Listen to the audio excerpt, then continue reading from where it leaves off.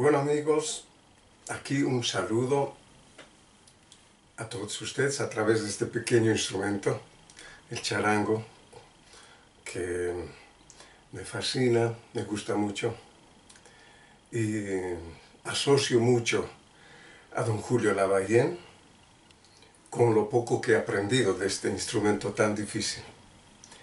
Eh, uno de mis grandes ídolos es Ariel Villazón, eh, que me deleita cuando, yo eh, observo su técnica, especialmente ese sentimiento que tiene cuando interpreta este charango.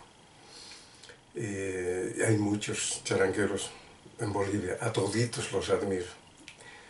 Y quiero hacer un pequeño homenaje a don Julio Lavallén, es para que no lo olvidemos y bueno, mi aporte va a ser con lo poco que he aprendido de lo mucho que sabe él. Muchas gracias.